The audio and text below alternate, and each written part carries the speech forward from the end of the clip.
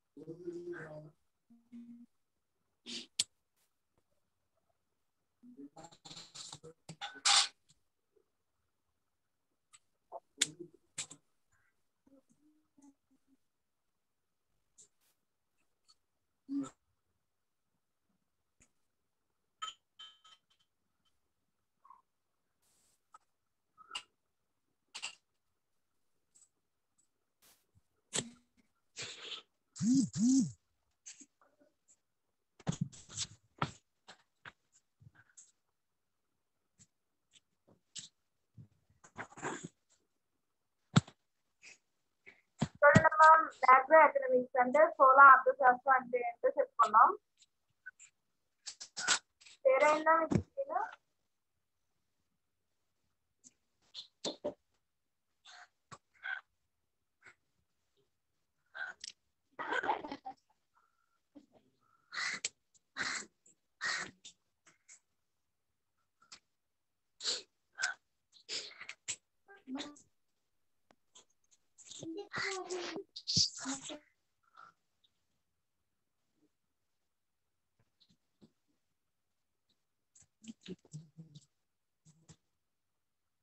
ఓకేనా?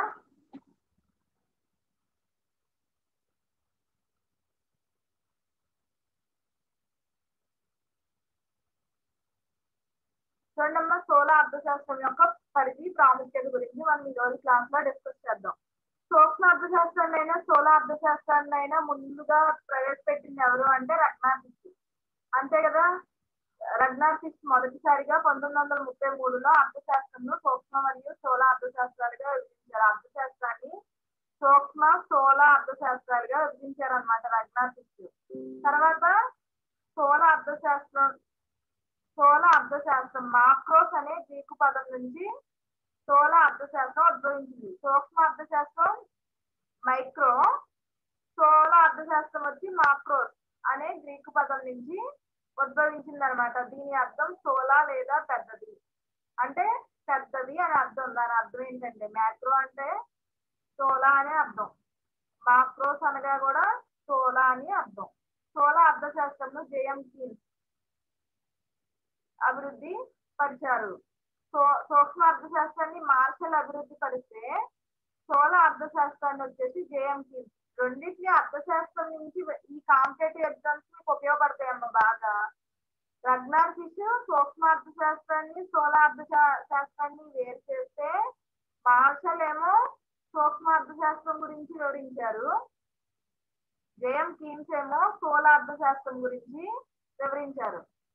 స్థూల అర్థశాస్త్రము జేమ్ గ్రీన్ అభివృద్ధి పరిచాడు. దీన్ని ఆదాయ ఉద్యోగిత సిద్ధాంతం అని కూడా పిలుస్తారు. స్థూల అర్థశాస్త్రాన్ని ఏమంటారంటే ఆదాయ ఉద్యోగిత సిద్ధాంతం అంటారు. స్థూల అర్థశాస్త్రాన్ని ఆదాయ ఉద్యోగిత సిద్ధాంతం అంటాము. సూక్ష్మ అర్థశాస్త్రాన్ని ఏమంటారని చెప్పుకున్నాం ధరల సిద్ధాంతం.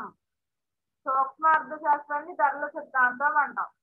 స్థూల అర్థశాస్త్రాన్ని ఆదాయ ఉద్యోగిత సిద్ధాంతం అని కూడా పిలుస్తారు. జాతీయ ఆదాయం సమిష్టి వ్యయం సమిష్టి ఉద్యోగిత సమిష్టి పొదుపు మొదలైన సమిష్టి అంశాలని ఇది చర్చిస్తుంది. చూడండి సూక్ష్మ అర్థశాస్త్రానికి వచ్చేసరికి సమిష్టి చర్చించదు అసలు. సమిష్టి అంటే మొత్తం అంతటినే కలిపి అన్న పదమే రాదు. ఒక్కొక్క దాన్ని ఒక్కొక్క దాన్ని విడివిడిగా విడివిడిగా లెక్కించుకుంటే వెళ్ళద్దు. అందుకే సూక్ష్మ చిన్నది. స్థూల అర్థశాస్త్రానికి వచ్చేటప్పటికి మొత్తం ఏమెంత ఎంత మొత్తం ఆదాయం ఎంత మొత్తం ఉద్యోగిత ఎంత సమిష్టి పొదుపు ఎంత సమిష్టి అంశాలు. మొత్తం కూడా మొత్తం అనే దాని మీదే ఇది డిపెండ్ అయి ఉంటది. అంటే సమిష్టిగా అన్నిటి మీద ఇది వివరిస్తుంది అనమాట అంటే జాతీయ ఆదాయం అంటే పెద్ద విషయం.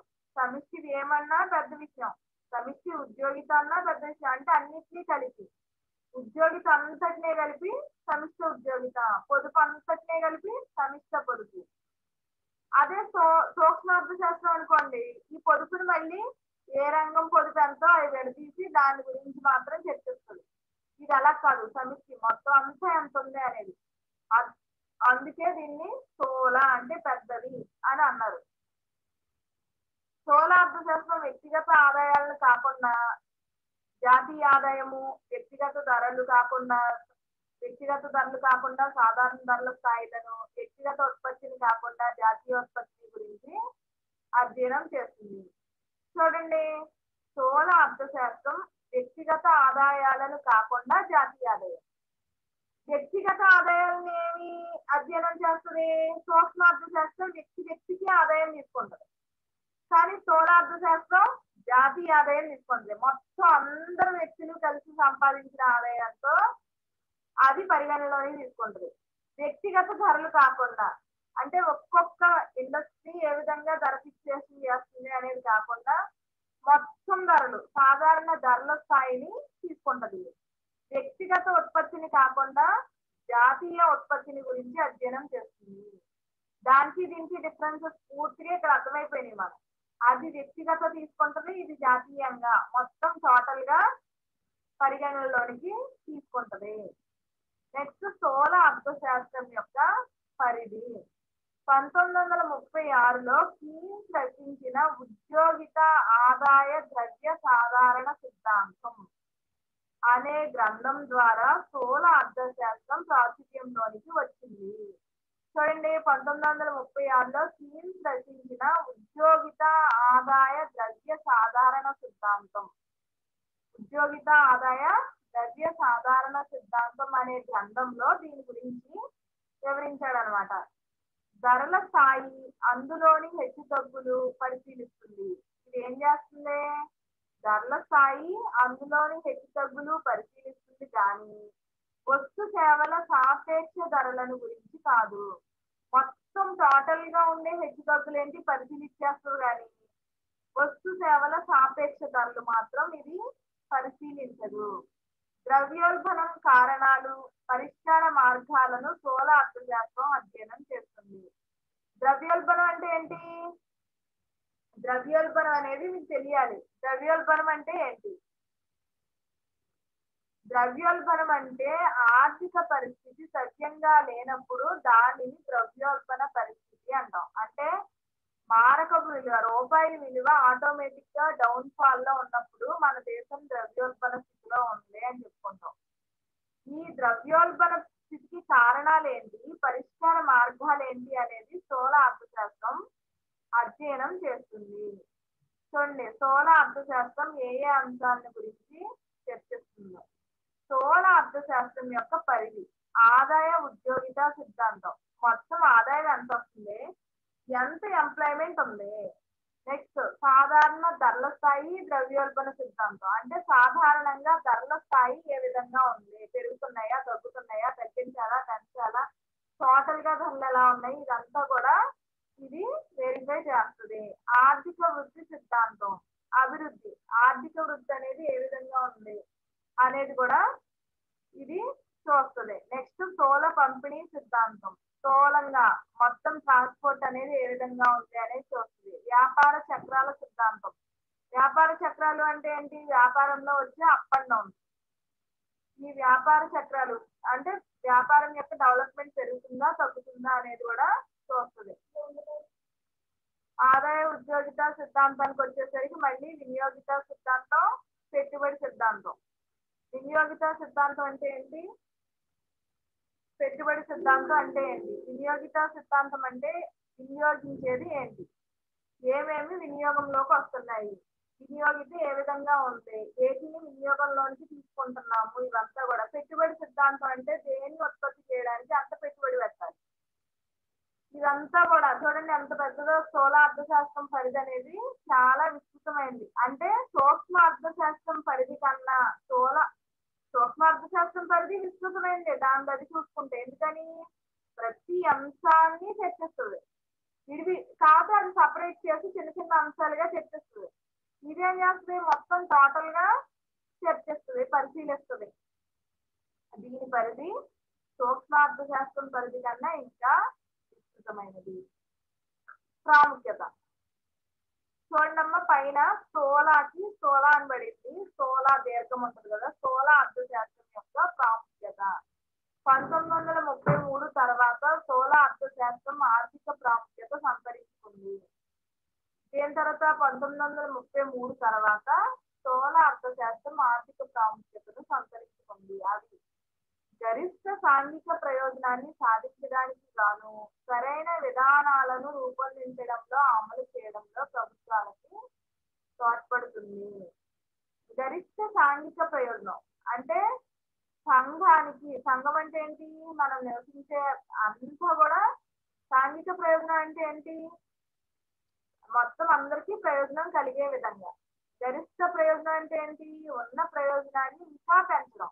గరిష్ట సాంఘిక ప్రయోజనాన్ని సాధించడానికి గాను సరైన విధానాలను రూపొందించడంలో అమలు చేయడంలో ప్రభుత్వాలకు తోడ్పడుతుంది. సోలార్ అర్థశాస్త్రం ఏం చేస్తుందంటే మొత్తం అంతా విశ్లేషణ చేస్తుంది కాబట్టి సరైన విధానాలను అంటే ప్రయోజనాన్ని సాధించడానికి గాను సరైన విధానాలను రూపొందించడంలోనూ అమలు చేయడంలోనూ ప్రభుత్వాలకు తోడ్పడుతుంది. ఎందుకంటే దీని దగ్గర ఆల్రెడీ క్యాలిక్యులేషన్ ఉంటుంది.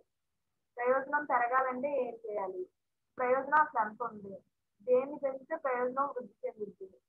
ఇదంతా ఉంటది కాబట్టి ఇది ప్రభుత్వాలకి విధానాలను రూపొందించడంలో తోడ్పడుతుంది అనమాట నెక్స్ట్ పాయింట్ నిరుద్యోగిత ద్రవ్యోల్బణం మొదలైన ఆర్థిక సమస్యలను అర్థం చేసుకోవడంలోనూ పరిష్కరించడంలోనూ ఉపయోగపడతాయి.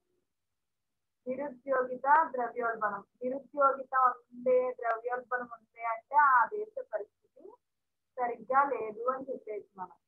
నిరుద్యోగిత అంటే ఏంటి? ఉద్యోగాలు లేకుండా ఉండటం. ద్రవ్యోల్బణం అంటే ఏంటి? ఆర్థిక పరిస్థితి సక్రమంగా లేకపోవడం. మొదలైన ఆర్థిక సమస్యలను అర్థం చేసుకోవడంలోను పరిష్కరించడంలోను. అసలు ద్రవ్యోల్బణం అంటేనే ఆర్థిక పరిస్థితి సక్రమంగా లేనట్లు. దాన్ని అర్థం చేసుకుని ఆ సమస్య పరిష్కరించకపోతే పరిష్కరించుకోకపోతే దేశం చాలా క్లిష్ట పరిస్థితికి వెళ్ళిపోతుంది అని అర్థం. కాబట్టి అర్థం చేసుకుని ఆ సమస్యను పరిష్కరించడంలో ఇది ఉపయోగపడుతుంది.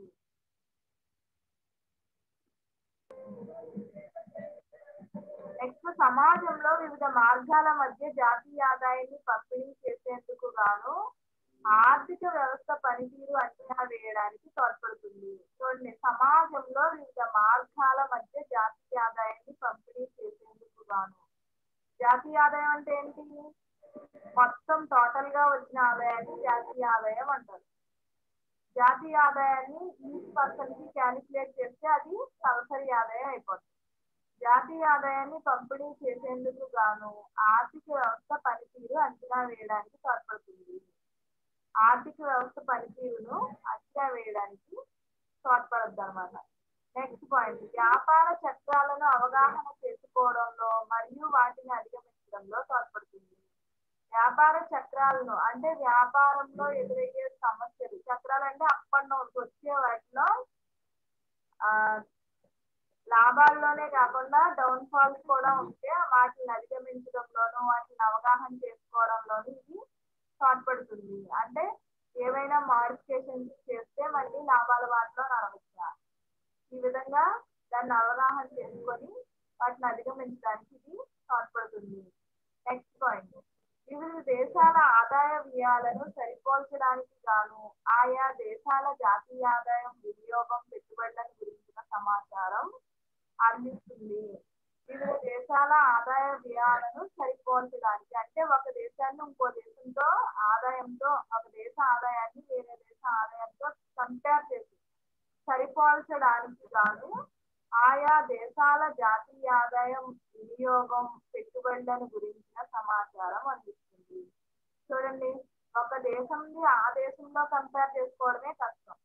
అలా కాకుండా వివిధ దేశాల ఆదాయ వ్యయాలను సరిపోల్చడానికి గాను ఆయా దేశాల జాతీయ ఆదాయం వినియోగం పెట్టుబడులను గురించిన సమాచారం అందిస్తుంది. వివిధ దేశాలలో సరిపోల్చి ఆయా దేశాలకు సంబంధించింది అత్యాదాయం ఏ విధంగా ఉంది? అక్కడ వినియోగం ఏ విధంగా ఉంది? అక్కడ పెట్టుబడులు ఏ విధంగా ఉన్నాయి? అనే సమాచారాన్ని మనకి అందిస్తుంది.